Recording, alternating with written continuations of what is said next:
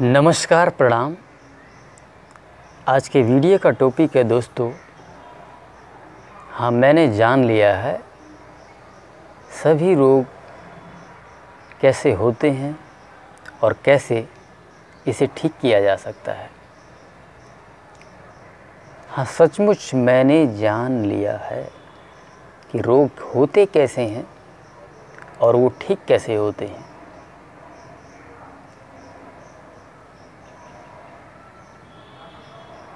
दोस्तों, इंद्रियाँ जो हैं हमारी, इस मार्ग पे चलने से पहले हमारी जो इंद्रियाँ हैं, उनको बस में करना पड़ेगा। वो व्यक्ति इस मार्ग पे चल ही नहीं सकता जो इंद्रियों का गुलाम है। ये आसान मार्ग नहीं है। जो ज्ञान मैंने ये प्राप्त किया है कि शरीर को स्वस्थ कैसे रखा जा सकता है, ये आसान मार्ग नहीं है। ये भोगियों का मार्ग नहीं है। ये योगियों का मार्ग है। ये आत्म संयम लोगों का मार्ग है। वो जो आत्म संयम कर सकते हैं, वो जो अपनी इंद्रियों को वश में कर सकते हैं। वो जो इंद्रियों के स्वामी है, वो नहीं कर सकते हैं जो इंद्रियों के गुलाम हैं। वो कभी इस मार्ग पे नहीं चल सकते हैं। और यही एकमात्र मार्ग है, यही एकमात्र तरीका है, जिससे हम अपने शरीर से समस्त रोगों को निकाल भी सकते हैं और जीवन भर स्वस्थ रह भी सकते हैं। यही एकमात्र मार्ग है। और ये मार्ग मैंने कुछ अपने अनुभवों से सीखा है और कुछ मैंने अपने ऋषि मुनियों से सीखा है। कुछ मैंने अपने अनुभवों से सीखा कुछ ऋषि मुनियों से मैंने सीखा इन दोनों के संयोग से ये ज्ञान प्राप्त हुआ है।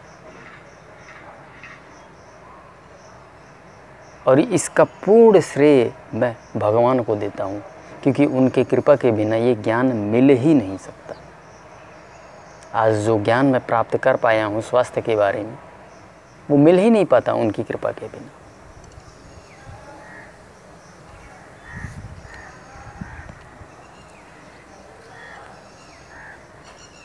एक उदाहरण के माध्यम से मैं आपको समझाऊँगा कि कैसे समस्त रोग जो है, उत्पन्न होते हैं।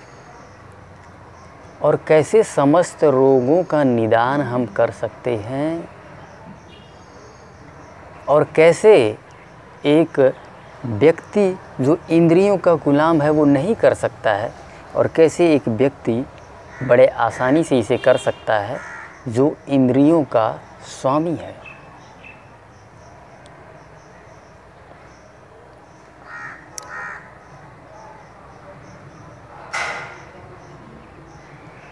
मैं ये कहता हूँ कि अगर आप अपने शरीर को खाली रख सकें, खाली मतलब नो वाटर नो फ़ूड कोई बीमारी आपके शरीर में टिक नहीं सकती। लेकिन बात असली यहाँ पे ये है कि ये कर कौन पाएगा? मैंने पहले ही बोल दिया था, वही कर पाएगा जो इंद्रियों का स्वामी है। वो कभी नहीं कर पाएगा जो इंद्रियों का गुलाम है। क्योंकि मन उसे करने ही नहीं देगा। मन भी एक इंद्रिय है। ये जीवा उसे करने ही नहीं देगी। ये जीवा भोजन मांगेगी, स्वाद मांगेगी। और आप शरीर को खाली रखेंगे कैसे? लेकिन वो व्यक्ति जिसने इंद्रियों को जीत लिया है, वो कर जाएगा। और वो कर जाएगा तो उसके शरीर से समस्त बीमारियाँ भी निकल जाएँगी।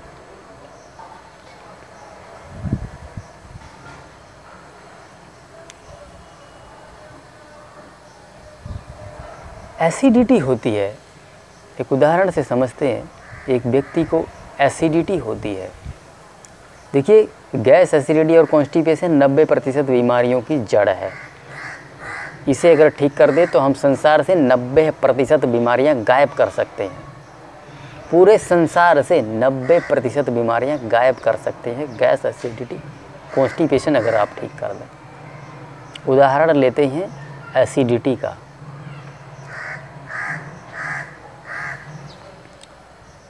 एसिडिटी का जो मेरा अनुभव है, मूल कारण है कब्ज़ और गैस।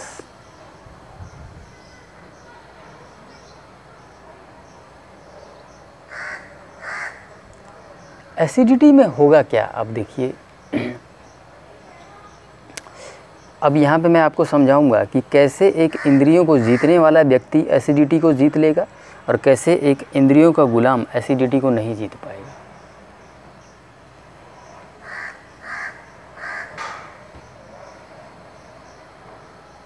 अगर हम शरीर को पूरे खाली रखें और कुछ भी ना डालें तो गैस, एसिडिटी, कॉन्स्टिपेशन तीनों एक साथ साफ़ हो जाएगा। और उसके पीछे जितनी भी बीमारियाँ वो सारी की सारी साफ़ हो जाएँगी। अगर आप शरीर को खाली रखना सीख जाओ, इसका भी एक तरीका है, इसका भी एक सिस्टम है, एक सिस्टम से करना पड़ेगा आपको।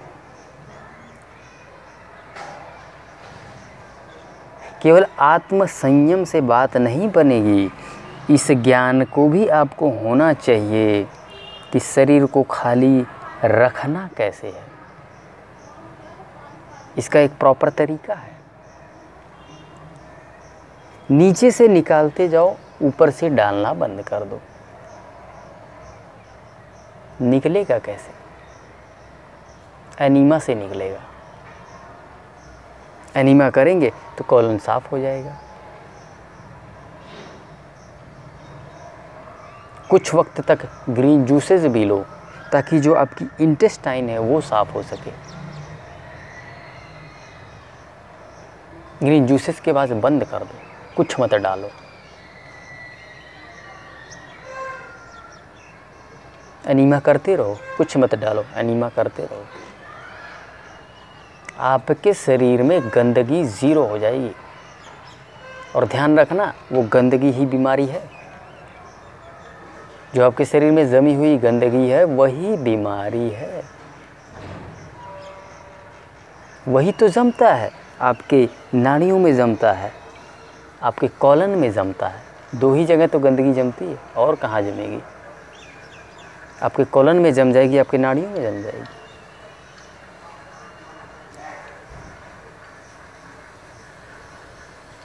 और इस चीज़ को अगर आप कर गए तो दोनों ही चीज़ें साफ़ हो जाएँगी।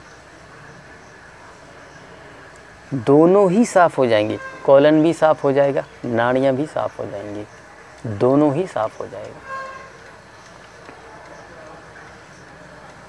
और सब बीमारियाँ इससे ही जुड़ी है, चाहे जिस बीमारी का नाम ले लीजिए आप, शुगर ले लीजिए, थायराइड ले लीजिए हार्ट से जुड़ी जितनी भी समस्याएँ उसको ले लीजिए, किडनी से जुड़ी समस्याएँ हैं, वो ले लीजिए।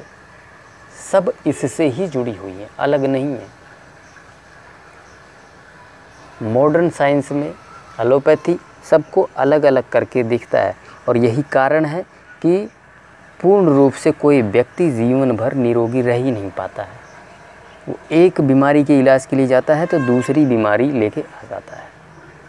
क्योंकि वो सिम्टम्स पे काम करते हैं। उसके पीछे जो कारण है, वहाँ पे जा ही नहीं पाते।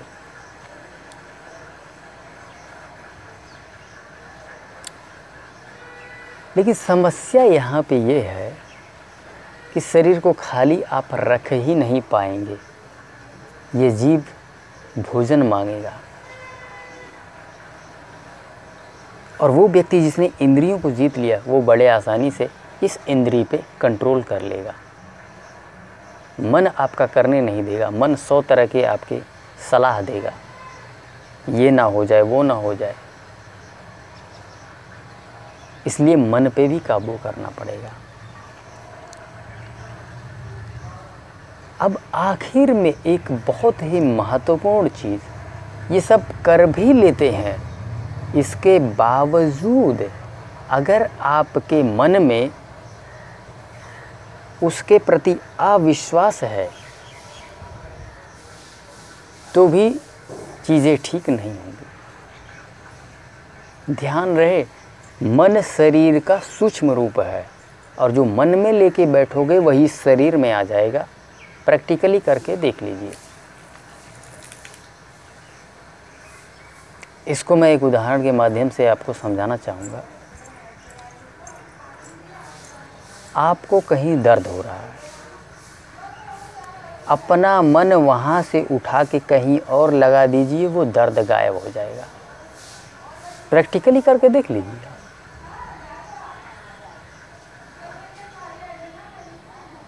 पूरा दिन शरीर में कहीं दर्द हो रहा होता है, लेकिन रात में गायब हो जाता है दर्द। कारण? आपका मन रात में शांत हो जाता है। क्योंकि आप नींद में चले जाते हैं।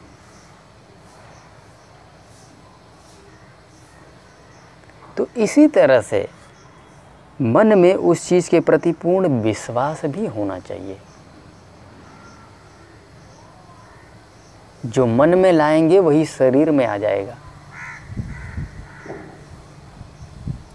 इसलिए उस चीज़ के प्रति, जो चीज़ आप कर रहे हैं, उसके प्रति आपके मन में नकारात्मक विचार नहीं होना चाहिए। संशय नहीं होना चाहिए। डाउट नहीं होना चाहिए कि इससे ठीक होंगे या नहीं होंगे। यदि डाउट रहा तो नहीं होंगे ठीक। क्योंकि मैंने पहले ही बोल दिया, जो मन में है, वही शरीर में आएगा। आपके मन में तो डाउट है। आपके मन में ये है कि नहीं ठीक होगा। और मैंने पहले ही बोल दिया कि मन शरीर का ही सूक्ष्म रूप है।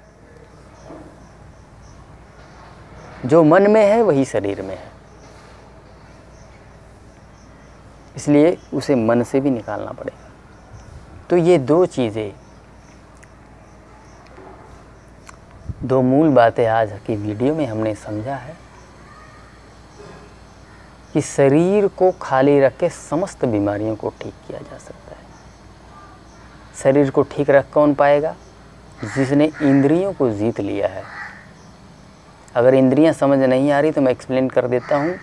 आँख, कान, नाक, जीवा और दो नीचे इंद्रियाँ हैं, हाथ, पैर। ठीक है, शब्दों से जो बोलते हैं हम, जीवा से खाते हैं जो, ठीक है, ये दो इंद्रिय होगी तथा मन। ये है इंद्रियाँ। इंद्रियाँ शब्द कई बार आई है इसलिए मैंने एक्सप्लेन कर दिया है आपको। अगर जिसे इंद्रियों का अर्थ नहीं समझ में आ रहा तो। और हमने कौन सी बात सीखी? मन।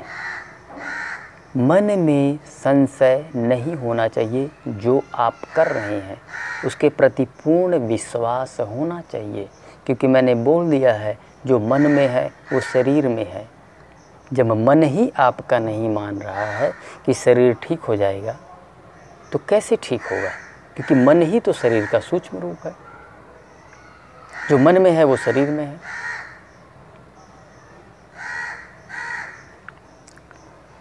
तो चलिए दोस्तों, आज का सेशन इसे यहीं पे समाप्त करते हैं। धन्यवाद